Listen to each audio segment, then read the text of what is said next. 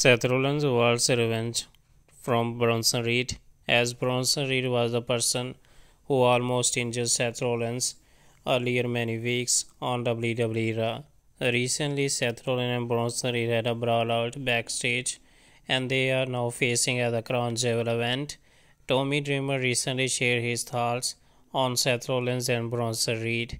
Tommy Dreamer was talking on Busted Open Radio and discussed that it can change the career of the Bronson Reed forever. This is a mega match. This is going to be a career changing match for Bronson Reed if he win over Seth Rollins, one of the biggest star, former Universal Champion, a Grand Slam champion in WWE. Say that this is a matchup for both guys. It is for the Bronson Reed. It could be career changing. If he does lose, does that mean he's not going to be